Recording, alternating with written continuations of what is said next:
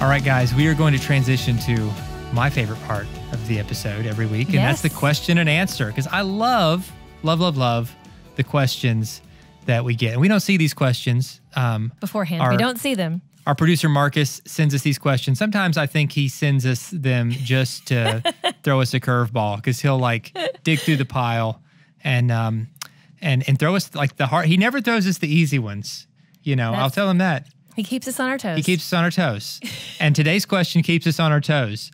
And so I'm going to read it because uh, eh, I just uh, I see what it's about, and already it's like this is a hot one. All right, so here's the question. and by the way, if you want to send us questions, um, you can send these to nakedmarriagepodcast.com. You can also reach out to us on social media. The, the questions we answer on air are the ones that come uh, specifically to that Naked Marriage Podcast site. But you can write us on Instagram at Dave and Ashley Willis, or if you just search the keyword marriage on Facebook, our page will pop up, and uh, and we do respond there as well. But today's question says, "My husband travels a lot, and when traveling, he desires for us to have online sex. I was initially uncomfortable, but over a period of time, uh, I gave in with hopes it would improve our marriage. As a Christian, I'm still not sure if this is right. What are your thoughts?" So, online sex, and so we we do get um, uh, written questions about about the, these kinds of things, and technology sort of created a whole new whole new area where a lot's possible that wasn't possible before. And and for couples who were traveling, uh, who they're apart physically, they're on deployments. You know, there are a lot of different circumstances that can create physical distance. Um, there there are those a lot of people that have written and said, um, you know, my my husband. It's usually you know usually not always, but usually the husband who initiates this and says, I want to feel connected to you sexually.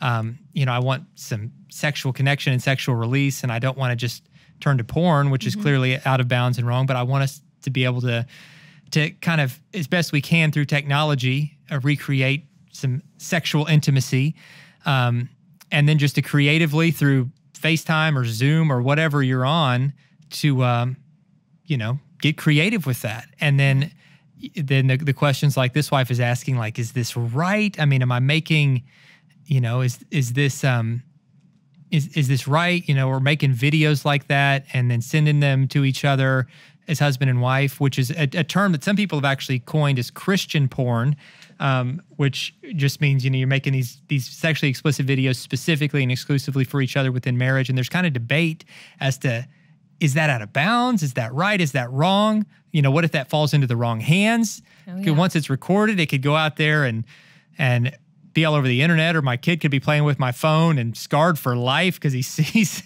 yeah. You know, I, I I mean, there's just there's a lot of nuances to it, but at the same time, um, you know, when you're traveling and wanting to stay connected somehow, I Right. what I'm just babbling at this point. I know. I was like, you're really going on. there. Marcus, what have you done? Okay, I actually have an opinion about this. And I I mean, I think when you look at it on the surface, these this is a husband and a wife who are married.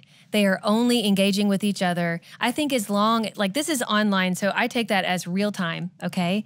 I would say first and foremost it needs to be a very private, safe, like this can't be shared, this is not being recorded a- and used for pornography, but it is for each other in the moment. I think that that's just a, a modern day way to connect. And it wouldn't be any different than if you were each kind of stimulating yourselves while watching each other in person. I mean, and that's that's not wrong. There's nothing in the Bible that necessarily says that's wrong. I think though the bigger question here is does she feel comfortable? Because Right. the marriage bed needs to be a safe place. And I don't know if she's uncomfortable with it because she feels a little guilty like is this something I'm really doing wrong or if if really she doesn't find it enjoyable. I'm not really sure she didn't put that in there, but I think that that needs to be something you're both asking each other. But as far as biblically, I mean, we don't have anything in the Bible that says anything about this. I mean, you can go to Song of Solomon and you can see they did a lot of spicy stuff for their time.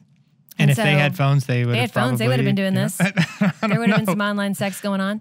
But I, I, think that there shouldn't be any guilt or shame here uh, as far as just in the moment engaging with each other in that way. And we've certainly known, you know, people, couples who where one spouse travels or is in the military on deployment, and they've had to be creative in this way. So I think you have to make sure it's very private. Um, and I don't know how all that stuff works technologically wise, but I would just make sure that you know that this is a private online engagement. But I think that uh, biblically speaking, I don't. I think if it's just the two of you engaging as a husband and wife, there's nothing in the Bible that says that's wrong. Yeah, it's it's it's an innovation that Right. uh but at the same time i think there's prudence in like ashley said just uh, making sure that this isn't something that could be re- recorded and come and come back to Oh, absolutely. get you in Yes. some way um in, in a way that was an un- unintended use Right. because like we've said any any sex within marriage is meant to be very private and very exclusive just uh, for the two of you Mm-hmm. but these are great insights and i appreciate the question because now sweetie next time you travel or i travel you can expect Oh a facetime call you can just expect it Oh, wow.